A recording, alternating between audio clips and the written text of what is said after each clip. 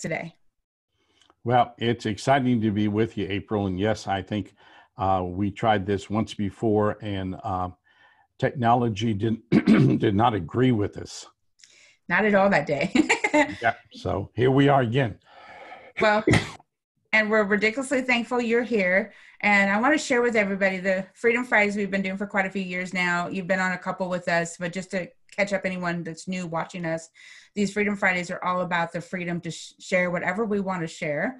And uh, usually we have a theme of uh, your leadership, your passion, and your perceptions. And so I'd love for people to know first of all, I met Richard in 2005 when he was speaking for the National Association of Realtors in beautiful San Francisco and you were speaking about the truth about stress your one of your wonderful books and uh, i've since given you uh, when i taught high school one of my students actually did a visual for you that i did i took a picture of when you had your neck brace on at that time. We were i believe in myrtle beach i think at the time. Myrtle beach. Yes. And uh, i've been attending your star maker since that day.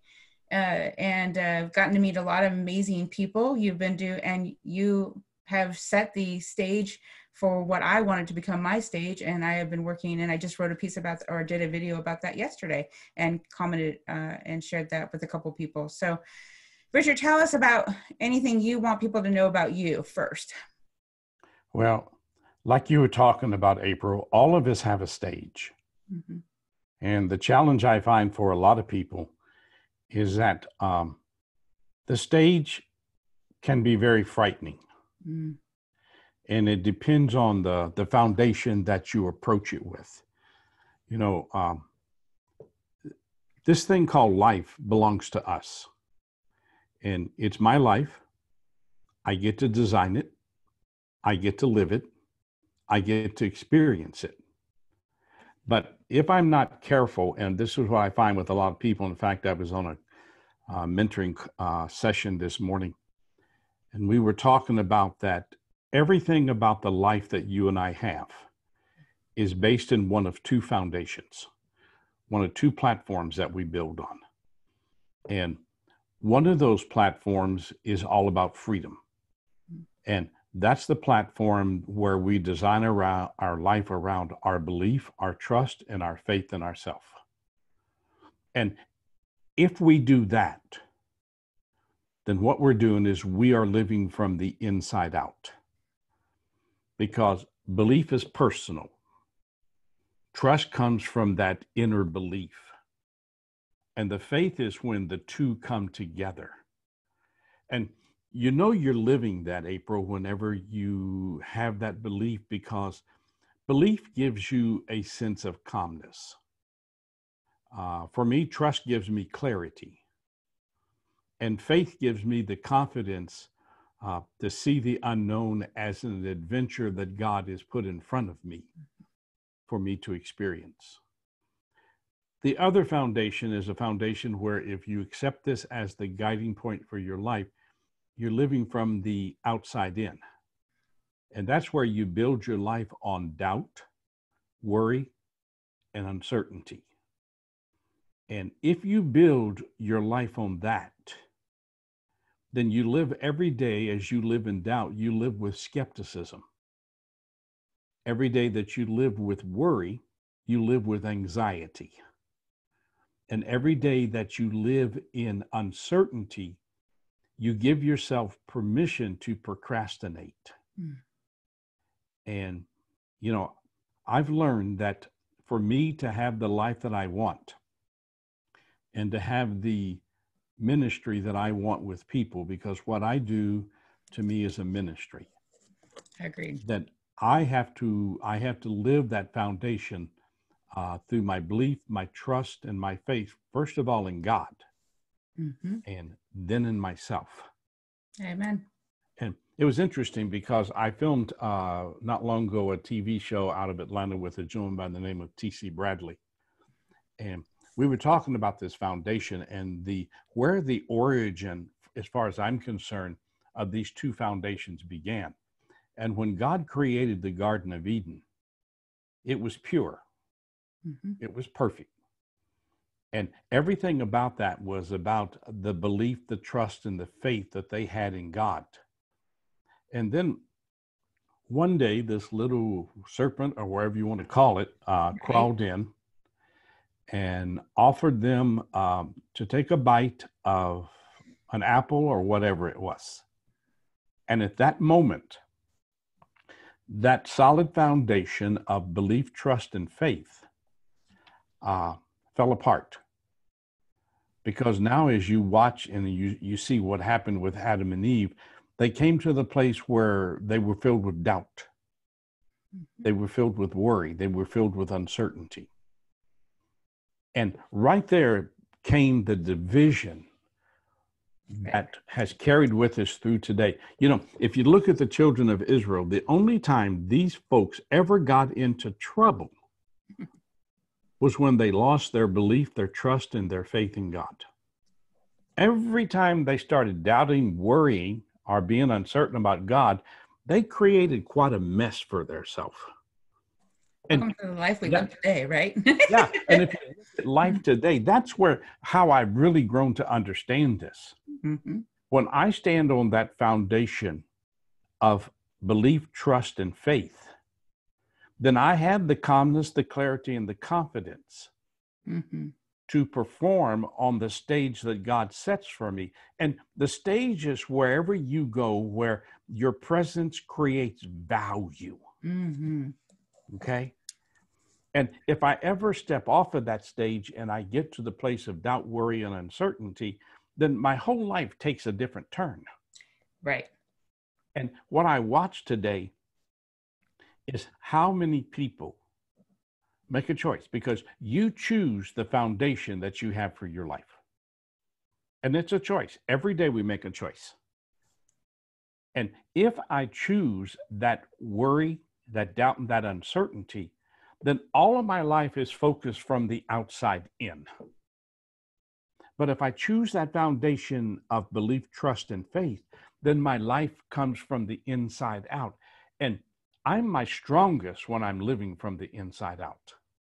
It's so absolute truth. It, I, I literally spoke about that in the video yesterday of how long it takes people to learn the value of living from the inside out and the value of understanding. I, and it was a labyrinth, believe it or not. That was something that really helped me see the visual perspective of that. And something I'm writing about now is that so many people are challenged to want to step within the layers, to, to want to decide to live from the inside out. And that creates our life work, right? yeah. But the inside out can become a very uh, fearful choice. Mm-hmm. Because if I choose to live from the inside out, then I bring certain other aspects to my life.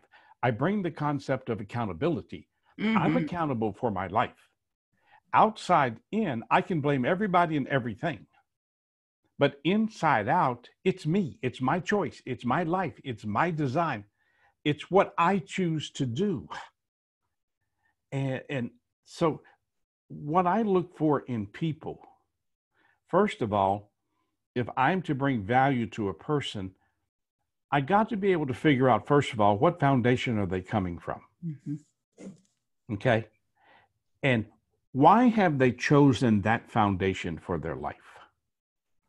And help them to understand that every time you choose to live from the outside in, you've actually given up control of your life. True. So you know, when I started this crusade that I'm on uh, 30 plus years ago, my my my desire for people has never changed. Mm-hmm. I mean, I work every day to help people understand there is a better life. I agree. And but you know, if I'm living from doubt, worry, and uncertainty, that's hard for me to see. Because what am I doing? I'm looking at everything that I feel is wrong with my life. And I want people to understand there's more for your life. It's there's better out there.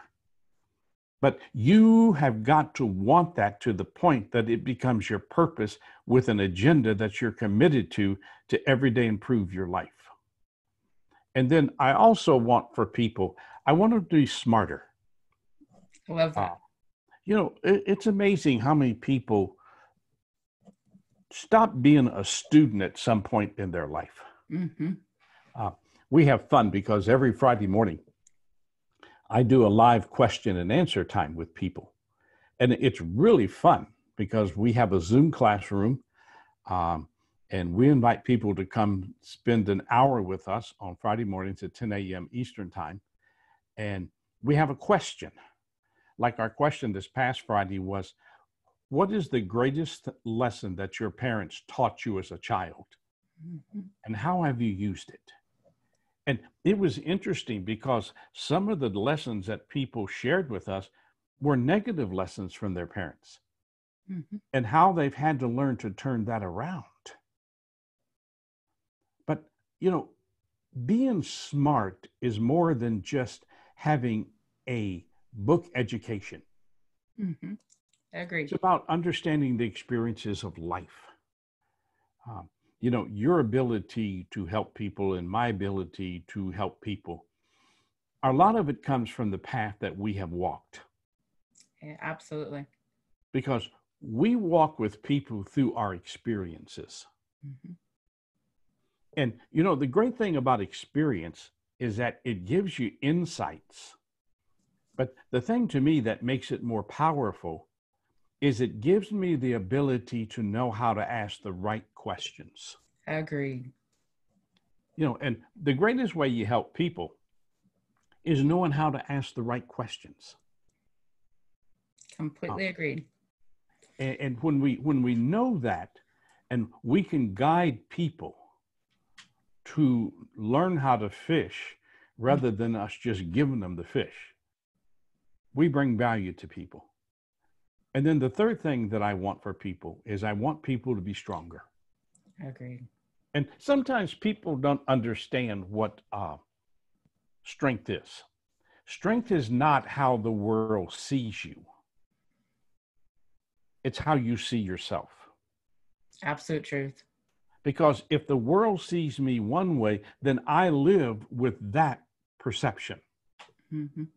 But if I trust myself, I believe in myself, I have faith in myself, my presentation of self mm-hmm. becomes stronger.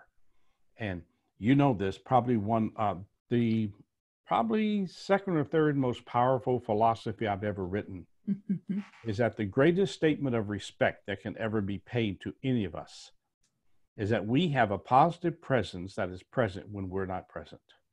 Mm-hmm. And when you reach that point, you have a strength that generates respect. You have a strength that creates trust.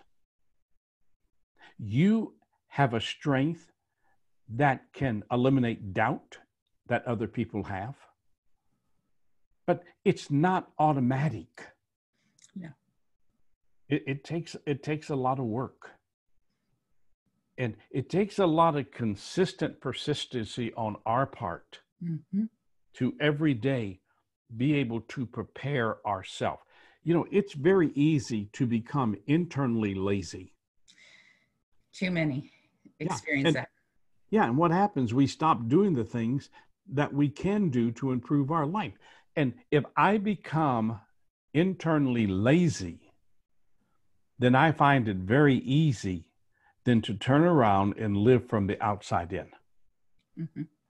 Uh, that, that's not the value of our life. No. It, Richard, you can cover so much in so little time, and it's so amazing. There's so many points I could take, you know, at least a multitude of pathways with. And yet, uh, uh, one of the things that uh, I was asked recently, if you were to say in one sentence, uh, what uh, problem you're solving and why it's important, what, what, what sentence would you choose? Uh, would that be a situation uh, involving me or a situation that I see in other people? that totally your choice. I, I really valued the question. It came from a, a, individual I have a huge amount of respect for as well, and uh, and so and it comes back into uh, and I think this is so accurate for you, is the way, I mean, another title you use and has been a foundation for you is behavior never lies, right? Mm-hmm. Correct. And uh, that has been a challenge for some of my clients. Uh, one of them is still angry with that book today, and uh, and it makes me laugh because, I mean, behavior never lies is a very powerful sentence. Well, it's accountability. Right. Okay, let me take what you just asked me and let me deal with it this way. Number one, uh, I don't believe in problems. Love that. I believe that a problem is a situation or an event that a human chooses to hang on to because whatever my life is, I choose that. Truth. So it's a situation or an event that a human chooses to hang on to so that they have a justification, a reason, or an excuse for what they don't want to be accountable for in their life. Mm. Um, you know, I used to work on a church staff and I ran the counseling division. And I'd have so many people come to me and they'd want me to help them with their problems. Mm. And what I found with most people is that when they had a problem, it had a reason to it, mm. it had a point of blame to it. It was something about someone or something that they use to justify their behavior. Mm-hmm. And when people have a problem, the majority of the time, they're not looking for resolution. They're looking for justification. And uh, I'm probably going to get you in trouble. That's all good. that's okay. That's one of the challenges I have with what's happening in our country today. Mm. Is that I think a lot of the discord in our country today is because some people can't seem to let go of yesterday.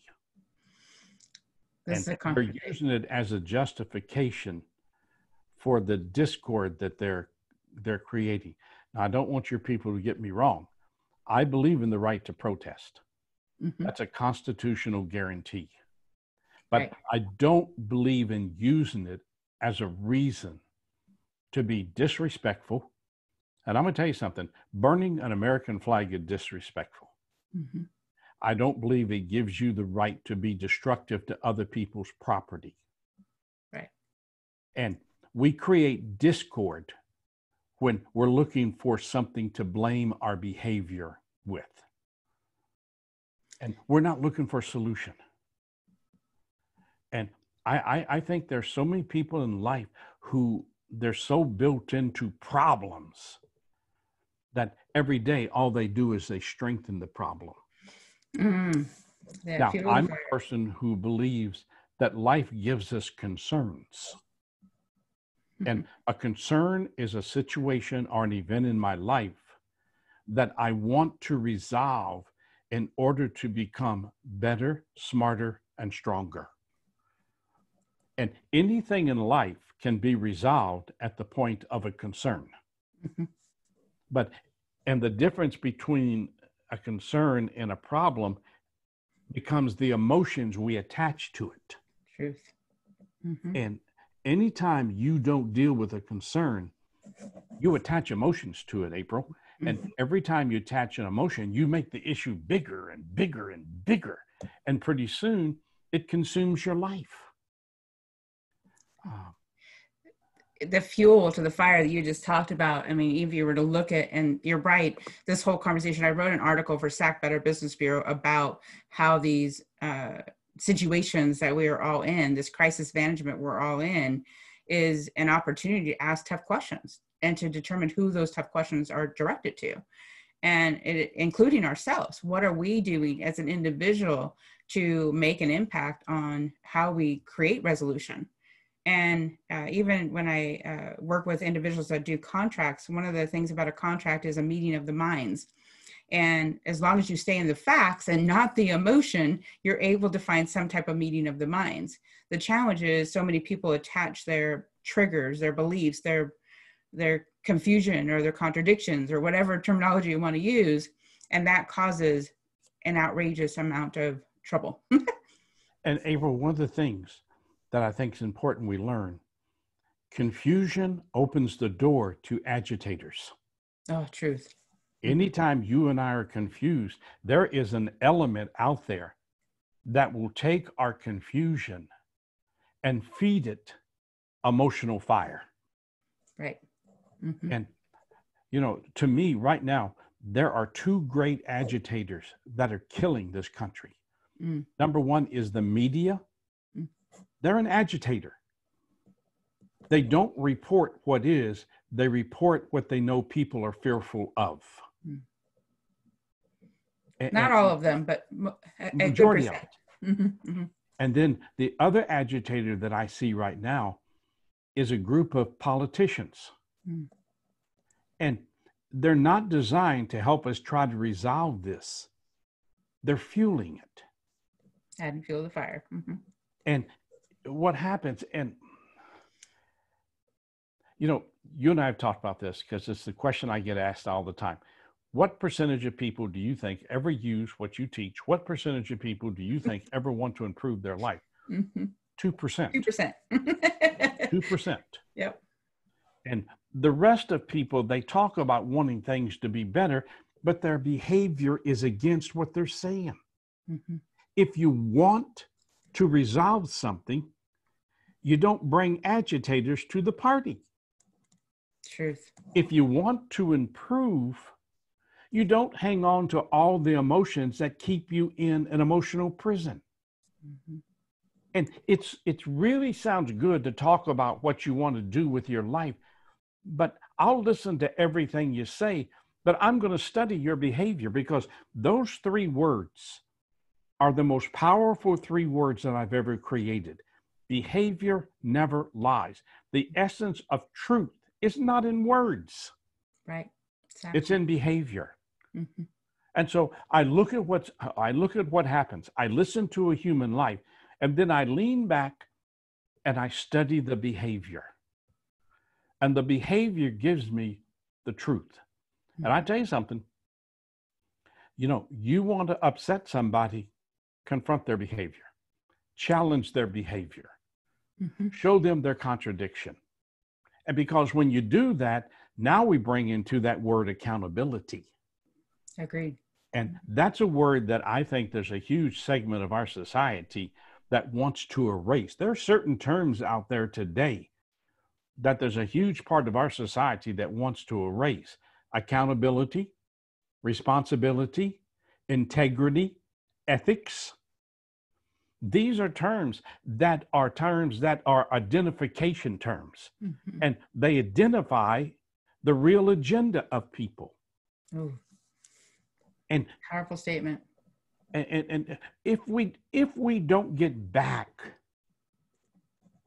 to becoming, first of all, a nation uh, that believes in trusting God. Mm-hmm.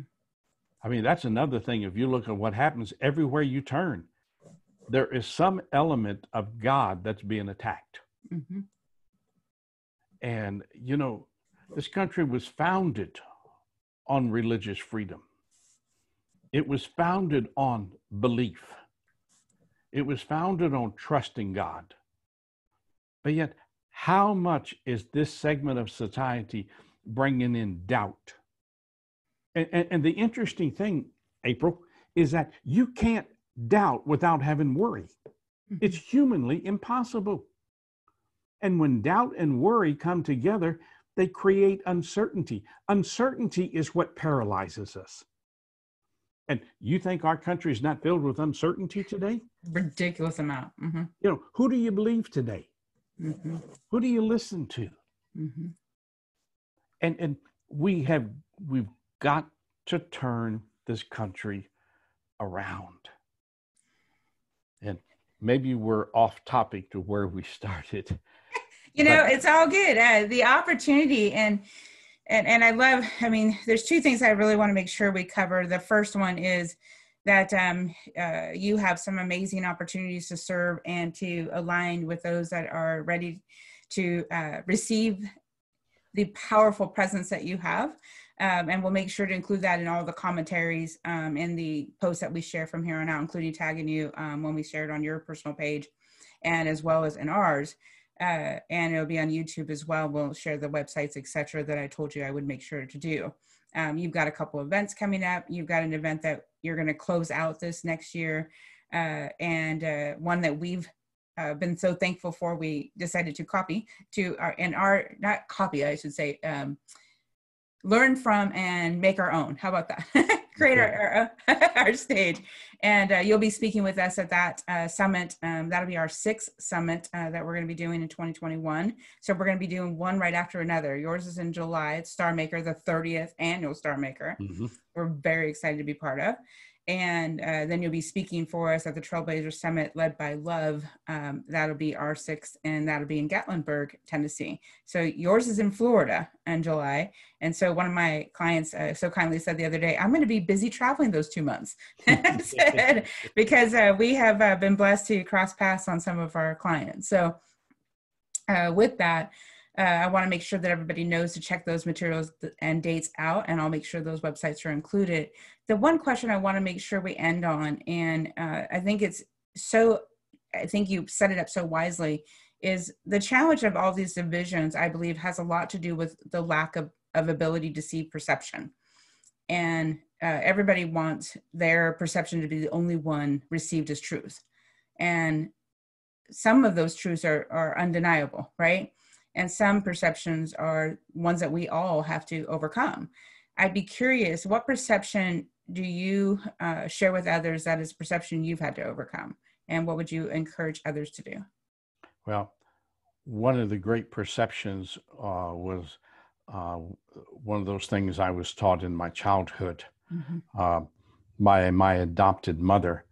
Um, and um, I was adopted, folks, when I was basically two weeks old, placed in a home. Um, and in that home, uh, my mother never wanted me. I was adopted because my dad wanted a son. Three sisters, none of us were brothers and sisters. Uh, but I can re- go, I can take you back to the age of six to the age of 16. And there were three statements that my mother made to me every day that I was stupid, I'd never amount to anything, and that she was sorry that they ever adopted me. And her greatest day would be the day when I was no longer in her house. Mm-hmm. So at the age of 16, I was given a suitcase and told me it was nice knowing me. And the greatest challenge I had in life was to unravel the emotions that my mother tangled me up with.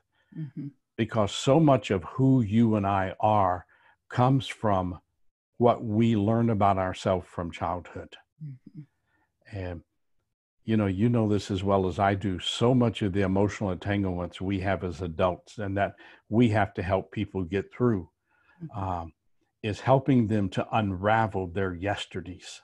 Yes. And for a long time, you know, I thought, you know, parents don't lie. Parents can't lie. So whatever they tell you about yourself has to be truth. So I would I would accept the fact that I was stupid and I lived with the fact you're never going to amount to anything in life and you're sure not a person anybody's ever going to love. Mm. And so without realizing it, what I did is I gave my mother from the inside out control of my life. Mm. And when I was a sophomore in college, I went home to confront my mom and dad. And my mother took one look at me, walked out the back door, got in her car, and drove off. And April never saw her again. I chose not to go to her funeral. I chose to go be with my dad after everybody had left him.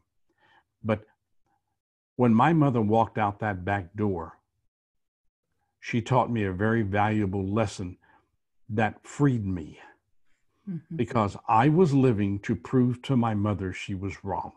Mm. And as long as I was doing that, my mother owned me emotionally mm-hmm. because I wasn't me. I was what she projected me to be. And when she walked out that door, it was like, it was just like God took a light and, and gave it to me out of darkness. Wow. And he said, Richard, you don't have to prove yourself to anyone. Mm-hmm. I made you in my image. I've given you unique talents. I've given you unique skills. And all I want you to do is take your uniqueness mm-hmm. and use it. And I remember that's where I I learned the meaning of uh, one of my philosophies. And maybe one day you and I can just do an interview about the philosophies I live my life on. That'd be awesome. But one of those, and it's been a philosophy of freedom for me. Why spend my energy being a carbon copy when I'm the original? Amen. You know, I have a stage. You have a stage. Mm-hmm. And our stage will not remain the same throughout our life because our stages change. Absolutely. And, you know, if you'd have told me 32, 33 years ago that I'd be doing this with my life today, I would have laughed at you. I can understand that. yeah, I never thought this would be where I'd be. But I'm on the stage that God wants me on. And I know this because I know that when you and I in life are standing on the stage that we're supposed to be standing on, we get three things we get happiness, which is peace and joy, mm-hmm. we get fulfillment, which means I know I'm adding value, and then I get freedom. I get the freedom to be me. Mm-hmm. And I would challenge anybody who's listening to this, anybody, take a look at yourself in the mirror. Mm-hmm. Are you an original or are you living as a carbon copy? Love Do you that. feel that you are free to be you? Conversation I had with a young man this morning was, Richard, I don't know who I am. Mm. I don't, and if I don't know who I am, I don't know what my purpose is. And so he lives in this world today that's locked mm. into doubt, worry, and uncertainty. And every day he's giving up the most precious thing he has in life the time to be himself. Truth. And I find this in so many people. Their great struggle is because they're living outside in because they don't have the inside strength to really understand that they're here for a purpose. Agreed. Mm-hmm. And if God's given me one gift in life, it's the ability to take what is confusing and show people the pathway to clarity. And in my mentoring program, that's all I do. Mm-hmm. I simply help people to know how to ask their self the right questions. I mean, I get asked all the time, and I would imagine you get asked too. Well, if I work with you, what's going to happen? What am I going to get from this? And I tell people, I don't have the foggiest idea. right. Because it's not my job to write your script. Mm-hmm. It's my place in your life to guide you to the clarity to write your own script. I love that. And I have finally owned that guidance because uh, we've had that conversation for many years. Yeah, that it is, we have. Is, and I'm it, proud of you because you. I think that I think you've come through the wilderness. Mm-hmm. Uh, I think you have uh, handled your biggest enemy, which was you in your world of doubt, worry, and uncertainty. Mm-hmm. And I think what has what has happened for you today is that you are claiming that belief, that trust, and that faith. And when when you have that belief, that trust, and that faith, then your value to other people. I mean, it just creates that positive presence that's present when you're not present. Mm-hmm. And it was ironic that all of the things you just spoke about about that clarity was in the video that I set us up for before we did this video of the journey of learning how to own my stage and the peace and the joy and the clarity and looking in the mirror and all of those statements were in my top seven. So the exciting part is you um, and I thank you over and over again that you continue to impact lives and lead, empower leaders like myself and others to go empower others. And uh, we are thankful for that. And is there anything you want to make sure we close out on? Yeah, I'd like to just share with people a couple of things we have coming up. Please. Uh, once a month, we do a free webinar. Right. We don't charge people for it. And uh, our webinar is coming up this coming Thursday. It's at 10 a.m. Eastern Standard Time. And my topic for the webinar is understanding motivation because I think if you Google motivation, it's one of the top three words that people Google. Yet I don't think people understand motivation. And one of the things we're going to talk about in the webinar, and the webinar is for an hour, and we're going to talk about that when you lack motivation, you create depression. Mm. the opposite of any life uh, that lacks motivation is that they have their own form of depression and there are all kinds of levels of impression of depression Truth. so that's at 10 o'clock this coming thursday am uh, and then on friday we have our question and, and uh, by the way with the uh, webinar you just go to richardflint.com and you can sign up for it and then um, Friday is our question and answer time. That's at 10 a.m. And ma'am, this one's going to be interesting because our question is what is your biggest concern about what's happening in our country today? Mm-hmm. And what it is, April, uh, it's a time where I do about three, five minutes on introduction, and then we open up the mics and we all talk and we get to share. And I tell everybody, you come to the Zoom classroom as a student, but be ready to become a teacher. And the insights are just unreal as to what we share. And then October 1 through 4, uh, we're doing our next in our series of small group retreats. And our retreats are limited to 15 people. And what we do is we take a topic and we make that our theme for the weekend. And October 1 through 4, our theme is decluttering your clutter. Mm-hmm. I think that clutter is the number one enemy for most people.